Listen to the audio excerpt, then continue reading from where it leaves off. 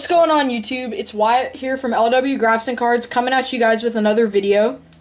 So today I'm going to be showing you guys some of my recent pickups that I got. And after this video drops, there's going to be a video. Me and Leo went to a Dodgers versus Padres game and we got some really cool autographs there. So that video will be coming next either today or tomorrow. So this is just going to be a really quick video of some recent pickups. So the first one is this Andrew Benintendi rookie card for my PC. Um, these next couple are just honestly players that I have no clue who they are. So if you guys know anything about them, you guys can let me know in the comments. So this is a Jairo Labrute. Don't really know how you pronounce that, but Jairo Labrute or something like that. This next one is a Cornell Prime autograph card. And excuse all the tape on the top loaders, just because I'm kind of running low on top loaders right now, so you got to use all of them. This next one is a Ryan Olson sign card, numbered out of 25. 12 of 25. You can see that right there.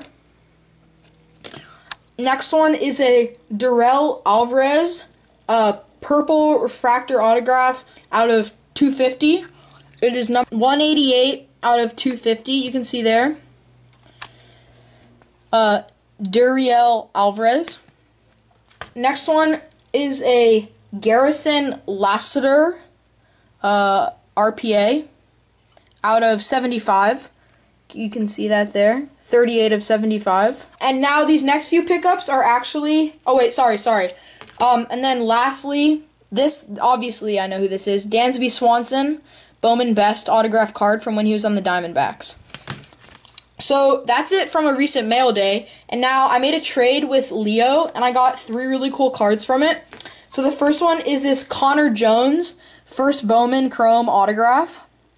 Next is this Lance McCullers 2013 Bowman Chrome autograph. And the last card that I got was this Teddy Stankiewicz 2014 Bowman Chrome Green Refractor autograph. Numbered 17 of 75. You can see that there. Yeah, this is really cool because he's actually on the Portland Sea Dogs double A team for the Red Sox, and since I'm a Red Sox fan, that's extra cool for me. So that's it for the recent pickups for today. Uh, stay tuned for the recap of the game and the vlog from the Padres game, and I'll see you guys in the next video. Peace.